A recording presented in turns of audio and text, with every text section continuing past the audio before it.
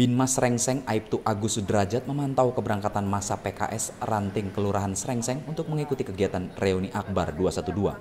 Menurut informasi yang diterima dari Binmas, bahwa telah berangkat masa Partai Keadilan Sejahtera untuk mengikuti aksi reuni Akbar 212 menuju Monas.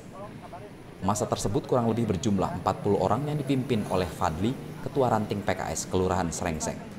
Masa tersebut sebelum berangkat berkumpul di depan Masjid Al-Alawiyah dengan rencana keberangkatan akan menggunakan dua unit angkutan umum mikrolet yang mereka sewa. Bin Mas Rengseng Aibtu Agus Sudrajat juga tak lupa menghimbau pada warga yang berangkat untuk selalu menjaga keselamatan dirinya masing-masing agar dapat kembali ke keluarganya dengan selamat seperti halnya ketika berangkat.